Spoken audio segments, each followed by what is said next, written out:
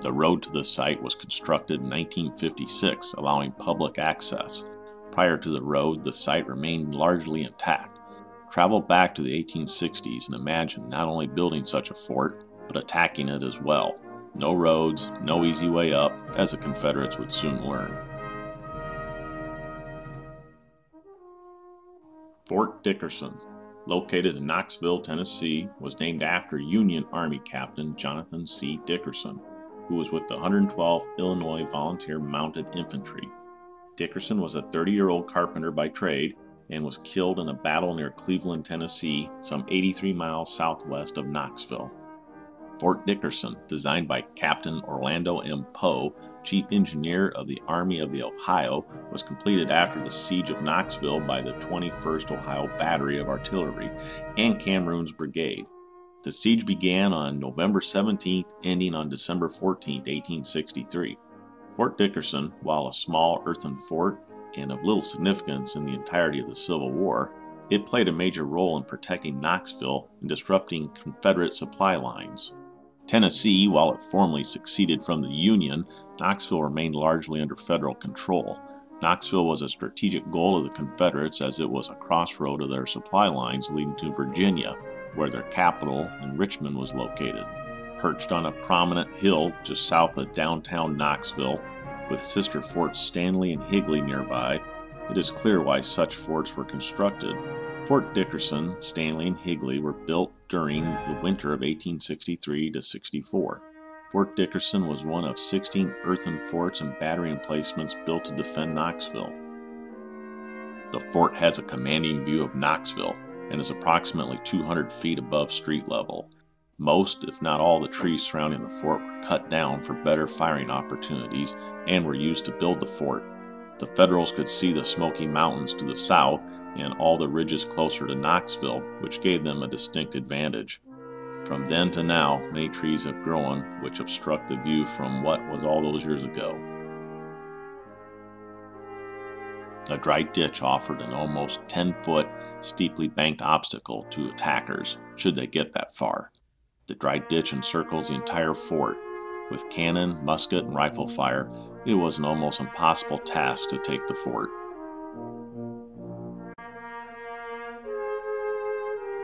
The fort had strong entry gates of logs and a covered powdered magazine in the center. The surrounding walls of earth were much higher than today, as nature has worn much away. It contained 25 embrasures, openings through which cannons fired and four to eight cannons were usually in place and could be moved to different embrasures to fire on the enemy. Entering through the gate, it appears that mounds of earth added significant protection. The wooden walls, now long rotted or repurposed, added to the protection. The underground magazine clearly shows the careful planning against Confederate cannon shot.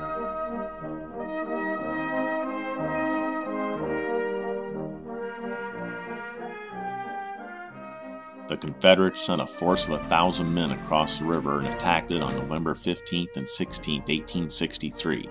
The Confederates were surprised to find that they were no longer facing only cavalry, but also infantry and artillery dug in on the height of what would become Fort Dickerson.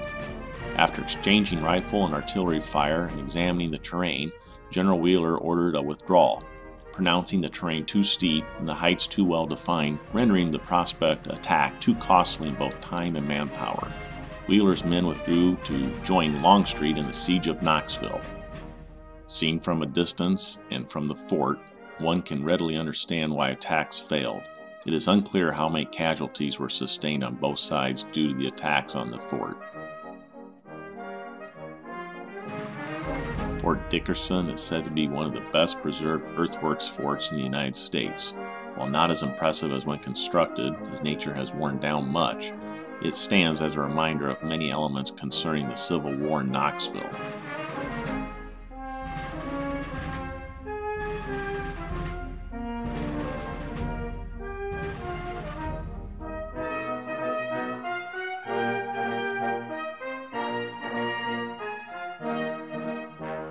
Footings of this contested railroad bridge are from the era and were one supply line to the fort.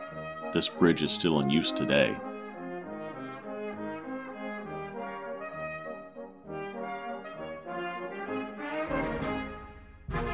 The Knoxville Civil War Roundtable has placed three iron replica 3 inch ordnance rifles in the fort and has installed several interpretive signs with information on the fort, the actions at Knoxville, and the importance of Knoxville's role in the Civil War.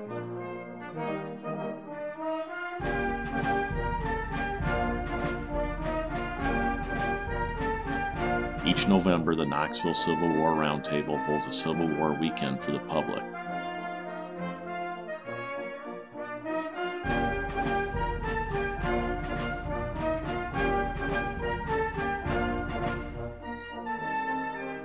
Fort Dickerson is a city park open dawn to dusk.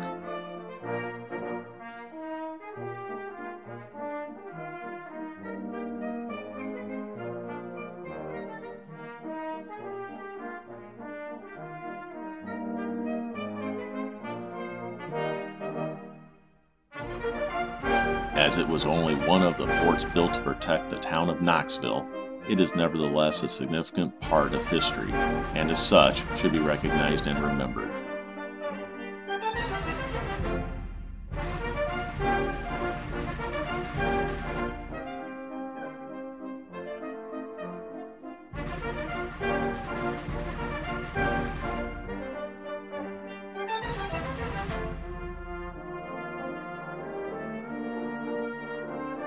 For information and additional video footage, please continue watching.